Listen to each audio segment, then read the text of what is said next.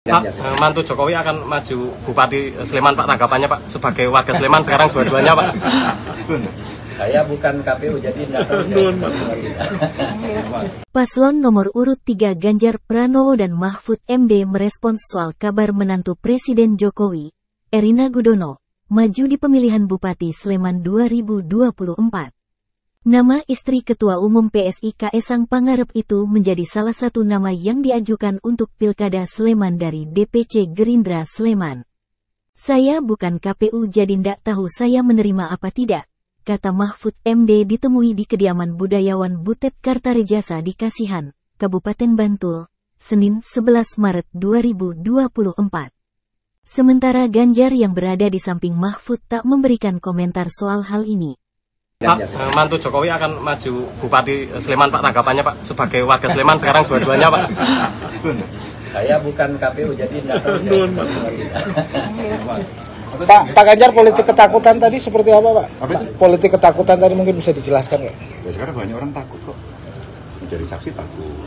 Ya enggak? Mau bicara takut gitu kan. Maka saatnya masyarakat tidak takut dan yang nakut-nakuti jangan suka bikin takut. Karena yang nakut-nakuti itu jenisnya genderuwo. Untuk saksinya Pak yang ah, tadi Pak Ganjar sempat singgung, Ya kenapa? saksinya eh, memang ada yang tidak menolak. Oh ya Pak, dinamikanya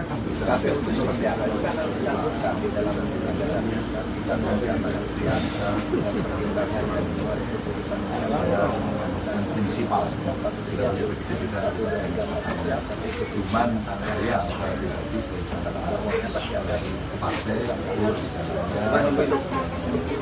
Bisa. Naskah akademiknya itu 100 halaman. Tapi dinamikanya bagus. Saya sudah baca.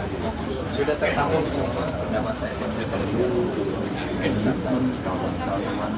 Ya itu pelan anu pe- penyalahgunaan mau nggak jadi yang jadi aturan masih bisa pelanggaran undang-undang APBN pelanggaran undang-undang Isunya ada gelontoran 10 miliar Pak. anggaran tidak ada undang-undang nomor 28 Hah?